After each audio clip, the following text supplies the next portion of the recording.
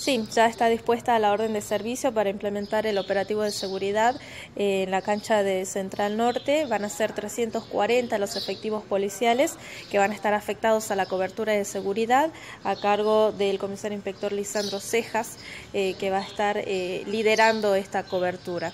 Eh, como siempre, no se va a permitir el ingreso de banderas, eh, tampoco de pirotecnia, eh, obviamente ya lo saben, de bebidas alcohólicas y demás, y de cualquier elemento que pueda ser utilizado para agredir.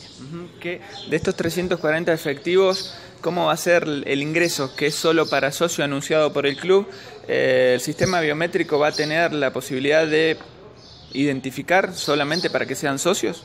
Eh, sí, ya están eh, todo dispuesto para que a través del sistema biométrico se pueda eh, conocer si la persona que va a ingresar es socio del club y también si presenta eh, algún antecedente por el derecho de admisión. O sea que al momento de ingresar la persona va a colocar el dedo y ahí automáticamente vamos a saber si está permitido o no su ingreso. Cabe destacar que también se va a permitir solo la presencia de 2.000 personas, como usted lo decía, únicamente socios. De todas maneras, para que socio que ya con antelación fue presente los datos tiene que entrar con carnet, DNI, algo que corrobore esos datos.